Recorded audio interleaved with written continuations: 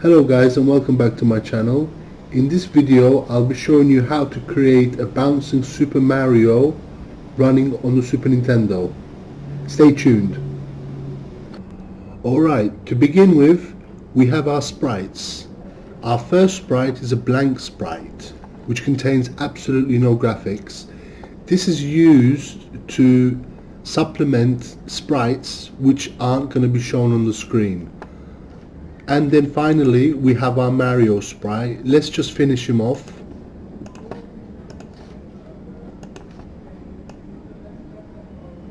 There you go. Now we have our Mario sprite and our blank sprite. We can both we can save them both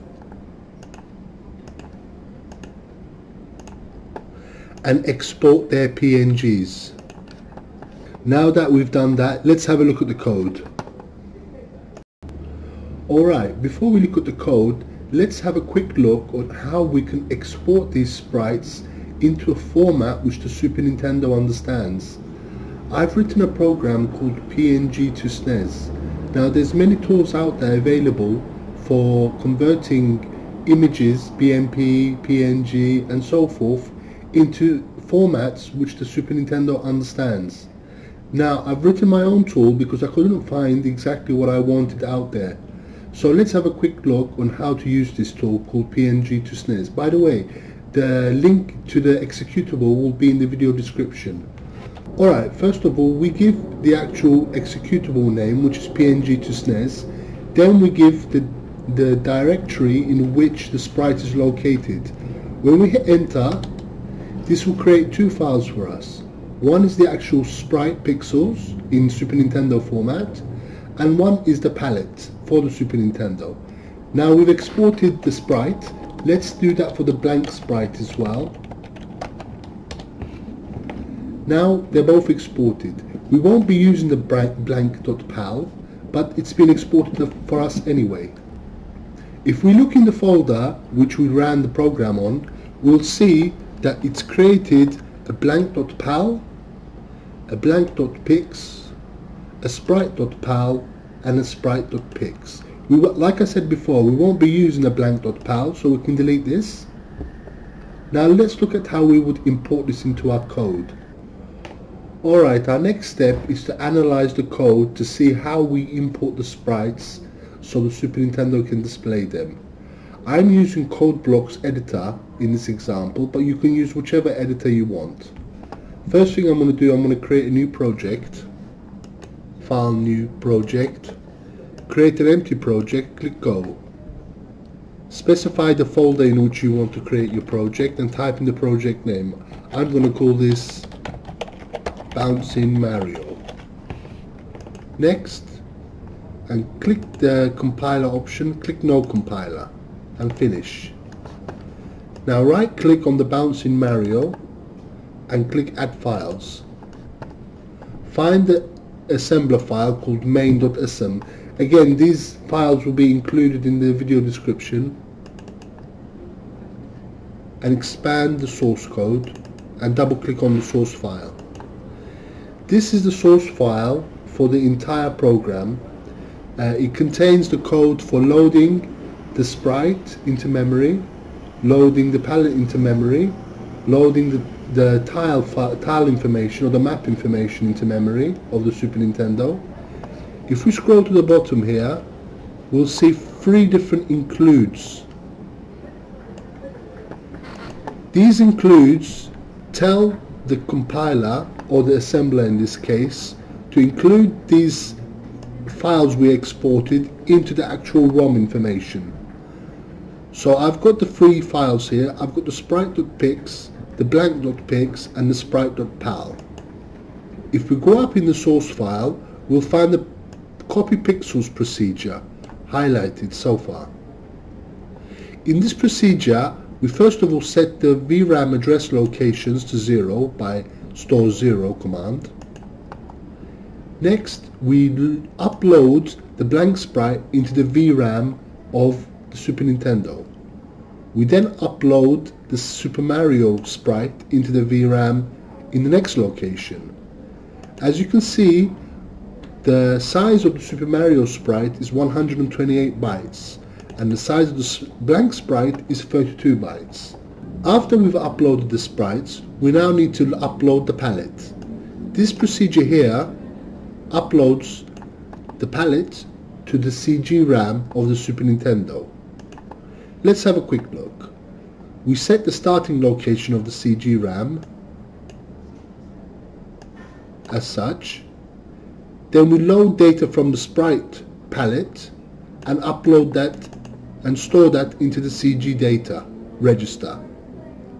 There's 128 bytes in this entry so that's why it needs to loop 128 times. After we've uploaded both the sprites and the palette, we now have to look at how we're storing the sprite X and Y locations. At the top of the file in the segment labeled BSS, we have sprites X and sprites Y. These are just two RAM locations, 128 bytes each, which hold the X and Y location for our sprites.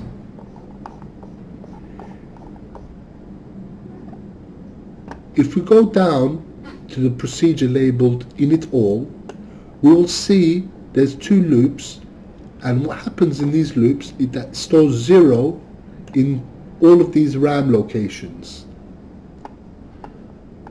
The next is to set up the sprite for Mario labeled sprite init head. These locations are at the center of the screen because the Super Mario sprite is 16 by 16 pixels wide we have four sprites each 8 by 8 so we center the sprite on the screen the final thing we need to do is to copy the actual object attribute memory telling the Super Nintendo which tile to use for which sprite, which palette to use for which sprite. So that's what we do here. Sprite copy OAM. First of all, we set the high and low registers to zero. The next loop is the loop main. This sets the sprite X locations that we set before into the register, the sprite Y locations into the register. We transfer x to a, meaning that we were counting how many sprites we've uploaded, we've uh, configured so far. Next we store sprite index. The first index sprite is the blank sprite as, as we've uploaded before. So we have to count from 1. Our first sprite index is 1. That's why we have an inc here. After we've configured the Mario sprite, we then have to set all the remaining sprites to the blank sprite, otherwise we get garbage on the screen. So this loop, loop blank, that's what it does. It loops until 128 sprites, which is the maximum Super Nintendo can display, and it stores 0 in all the object attribute memory locations. Finally, we have the logic to move the sprite on the screen you can check this code out for yourself and here in the reset handler which is like the main if you're used to C programming is the actual main body of the code. In this final area we look at the main loop of the code. The main loop comprises of an update move an update toggle and copy OAM what these functions do respectfully is to move Mario on the screen, to update when he bounces on the walls, and to copy the new sprite XY locations to the object attribute memory. There's another file I want to show you which is called memmap.cfg. In memmap.cfg there's very important information for the segments. Up here, we specify the RAM location for the Super Nintendo.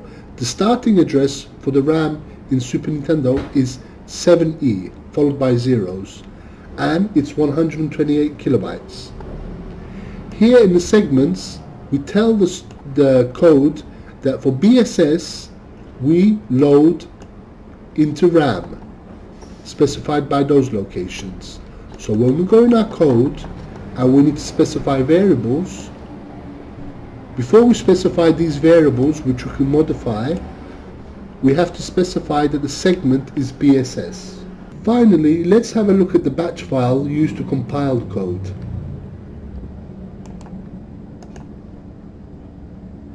It's called make.bat. If we open make.bat, we see two lines. These give instructions to the assembler and the linker on how to assemble our ROM. Our final ROM will be called game.sfc.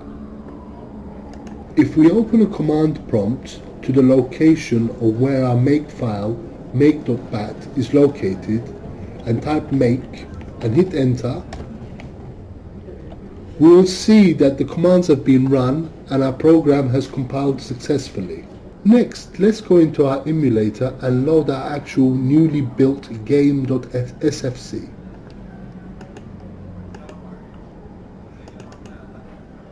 And there you have it, a bouncing Mario. If you enjoyed this video, please give it a thumbs up and subscribe. And if you have any questions, please let me know in the comment section below. Thank you for watching.